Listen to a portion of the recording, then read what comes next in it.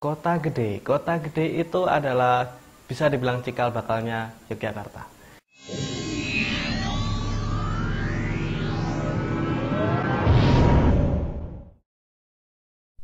Kota gede adalah salah satu tujuan wisata di Yogyakarta.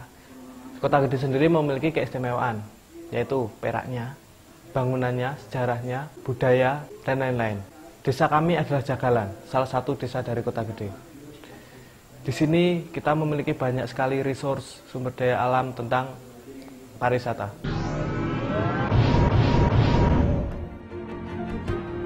Tanah kelahiran. Kota Gede Kota yang penuh dengan sejarah. Sejarah kerajaan Mataram. Dan tentunya sejarahmu sendiri. Oke Langan, video yang kami buat setahun yang lalu itu menggambarkan kegelisahan kami tentang eh, masa-masa kita masih bermain di pendopo, bermainan permainan tradisional. Paling yang mengesankan tuh situasi atau suasana. Dulu waktu masih SD, sering kali aku dengar-dengar para pengrajin itu bekerja suasana dulu kalau malam itu ya banyak orang masih lembur itu loh mas lembur malu tutuk-tutuk gitu masih terdengar setiap rumah itu masih terdengar suara orang bekerja tapi sekarang enggak Berangkat dari kegelisahan kami muda-mudi di Desa Jagalan, ya akhirnya kita melakukan pemetaan. Di situ ada tiga hal yang kita petakan. Bangunan, kuliner, kerajinan. Kerajinan perak ini yang menjadi perhatian banget bagi kita gitu. Kenapa? Kota gede itu terkenal banget sama peraknya. Orang kenal kota gede. Oh, kota perak. Ya, itu kota gede. Dulu hampir dari warga di Desa Jagalan itu bekerja sebagai pengrajin perak. 65 itu di sini pergolakan politik itu ada waktu vakum. Terus mulai bangkit lagi itu sekitar tahun 70-an ke atas. Mulai rame lagi. Tapi, nah sekarang yang kurang dari 50 orang aja yang bekerja sebagai pengrajin. Eman-eman kata orang Jawa.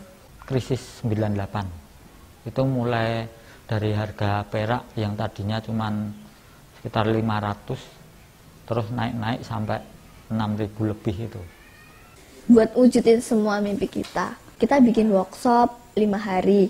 Kita undang pengrajin yang kira-kira bisa dan kira-kira mampu meluangkan waktunya hanya ada 20 orang. 5 hari singkat tapi ilmunya banyak manfaatnya kita kerjasama dari Arkom, dari Air Asia yang membantu kita. Mereka mengundangkan dosen dari Inggris, Pak Simon sama Mr. Simon sama Miss Elisa. Banyak banget materi yang disampaikan. Fokusnya sama marketing dan inovasi desain.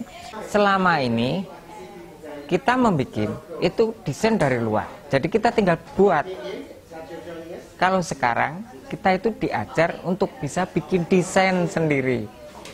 Kita harus mencari ide sendiri yang ada di sekitar kota gede yang bisa mencerminkan kota gede. Karya yang dijual itu juga benar-benar punya arti, gak cuma sekedar karya. Ya pentingnya itu ya menjaga kelestarian budaya peninggalan zaman dulu sini Buat wujudin semua mimpi kita. Semoga bisa tercapai. ya sangat senang mas kan bisa nanti kerajinan di khususnya jagalan ini bisa kembali seperti dulu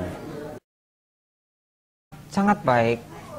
Lagian ini kan yang mulai mempeloporikan anak-anak muda semua. Bagus. Kalau bisa nanti jangan cuma kerajinan perak saja. Tapi juga mungkin ada kulinernya, ada kerajinan-kerajinan lain yang ada di sekitar kota gede ini bisa diangkat.